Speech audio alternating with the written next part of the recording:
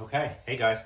So one of the things I really like to do when we're social distancing is work on my fitness a little bit. Puts me in a better mood, get a good exercise when we can't really go many places, can't go to the gym. So um, one of the things I like to do is uh, something called uh, squat presses. So you just need like a 35 pound weight or 40 pound weight or something to kind of help with your form. So Reed, can I use you? Yeah. Okay, come here. Ready? Hope. Okay. And if that's if that's too much, you can kind of scale it back to maybe a 25 pound weight. Hi, Fiona.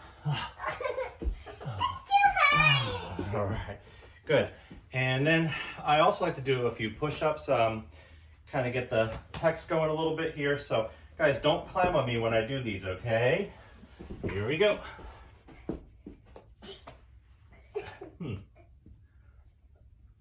Okay. It's my turn. Okay.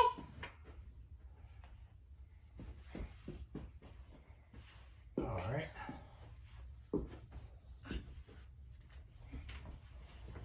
All right. So I hope that helps. Hope you're having a good time. Stay healthy and stay safe.